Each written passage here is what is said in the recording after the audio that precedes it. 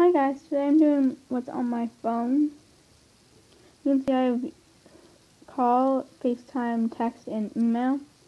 And on lifestyle, I have weather, newsstand, game center, clock, stocks, voice memo, notes, contacts, Nike iPod, passport, passbook, reminders, camera, compass, maps, photos, videos, calendar, Safari, and, and calculator, calendar, and Safari.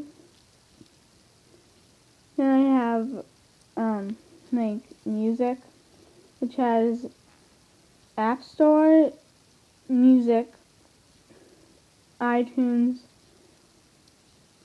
Instagram, YouTube, LS, Buddies, Settings, Kik, Jelly Jump, Flipgram,